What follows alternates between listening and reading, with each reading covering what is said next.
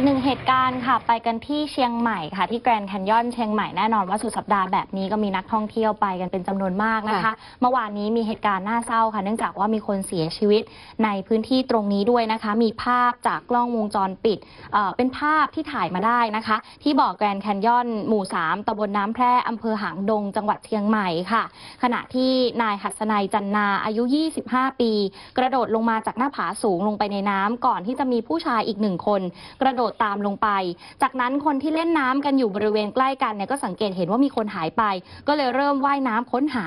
ก่อนที่เจ้าหน้าที่กู้ภัยและนักประดาน้ำจะมาช่วยเหลือ แล้วก็สามารถนำร่างผู้เสียชีวิตที่จมน้ำขึ้นมาได้นะคะ สอบถามชาวบ้านแล้วก็นักท่องเที่ยวที่เห็นเหตุการณ์ ก็บอกว่ามีนักท่องเที่ยวเป็นคนไทยเนี่ยแหละค่ะ กระโดดน้ำแล้วก็จมน้ำก่อนที่จะเสียชีวิต คาดว่านักท่องเที่ยวทั้งสองคนกระโดดไปกระแทกชนกับเพื่อนที่อยู่ในน้ำแล้วก็น่าจะเป็นเหตุที่ทำให้อีกคนเนี่ยจมน้ำโดยที่แกรนด์แคนยอนเชียงใหม่เนี่ยถือว่าเป็นพื้นที่กว้าง 30 ไร่นะคะ เป็นแอ่งน้ำขนาดใหญ่บางจุดเนี่ยลึกไปถึง 50 เมตร ภายในแอ่งน้ำเนี่ยจะมีสีเขียวใสเหมือนสีของมรกตเนี่ยแหละค่ะ แล้วก็มีคันดินเป็นหน้าผาสูงกว่า 20 เมตร ก็ทำให้ดูเหมือนแกรนด์แคนยอน จุดจุดๆนี้เนี่ยเป็นสถานที่ยอดนิยมอืมของเชียงใหม่อีกหนึ่งจุดนะคะ แต่ว่าก็หลาย ๆ ครั้งก็มีคนที่เสียชีวิตจากสถานที่แห่งนี้มาเหมือนกันแค่เสี้ยววินาทีเองถ้าดูจากในภาพเนี่ยนะคะ